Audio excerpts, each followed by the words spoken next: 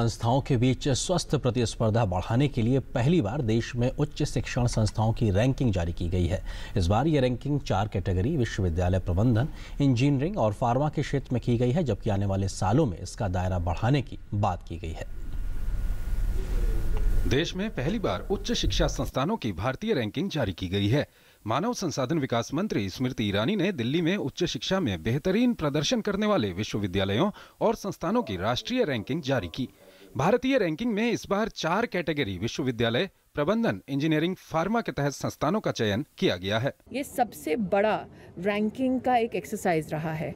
हमारी कोशिश ये है कि अब हर साल ये रैंकिंग अप्रैल के पहले सप्ताह में आए, ताकि जो छात्र अपनी इंस्टीट्यूशंस का कहीं ना कहीं चुनाव करना चाहते हैं, उनके पास ज़्यादा से ज़्यादा ट्रांसपेरेंट डेटा और जानकारी उपलब्ध हो। जो बाहर के छात्र हमारे देश में पढ़ना चाहते हैं, उनके लिए भी और बाहर की जो एकेडमिक जो फैकल्टी मेंबर्स हैं, उनके लिए भी हमारी इंस्टीट्यूशंस को समझने में और इंगेज करने में ज़्यादा सुविधा होगी भारतीय रैंकिंग में प्रबंधन की श्रेणी में पहले स्थान पर आईआईएम बेंगलोर दूसरे पर आईआईएम अहमदाबाद और तीसरे स्थान पर आईआईएम कोलकाता रहा।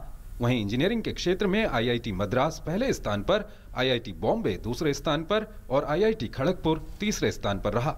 विश्वविद्यालयों की बात करें तो राष्ट्रीय सूची में भारतीय विज्ञान संस्थान बेंगलोर को पहला स्थान institute of chemical technology Mumbai को दूसरा स्थान और तीसरा स्थान जवाहरलाल नेहरू विश्वविद्यालय को हासिल हुआ है। उच्च शिक्षा संस्थानों की भारतीय रैंकिंग तय करने में तमाम मानकों का ध्यान रखा गया और इन पर खरे उतरने वाले संस्थानों को ही ऊपर के क्रम में जगह मिल पाई। आने वाले समय में भारत के इस रैंकिंग फ्रेमवर्क का दायरा बढ़ाया जाएगा। जिससे विभिन्न वर्गों में उच्च शिक्षा के देश के अधिकतर संस्थानों को इसमें शामिल किया जा सकेगा। Shailendra Mishra, DD news, Delhi.